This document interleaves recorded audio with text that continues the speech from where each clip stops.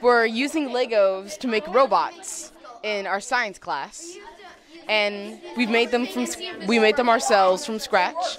And right now we're going to play soccer with our robots, and we're just trying to get goals like regular soccer.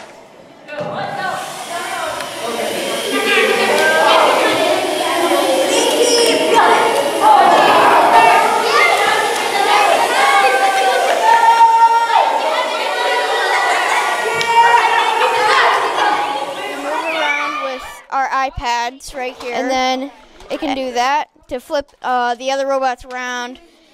And yeah, that's basically it. Yeah! Hit him, hit him. Just stop him. Just hit him. No, Aaron, trap him. Just trap him. Just stall.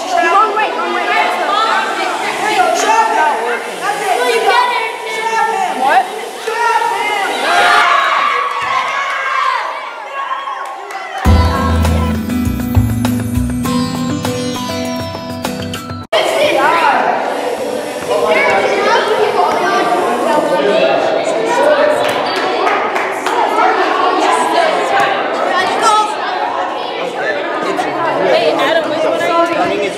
Adam, which one is you go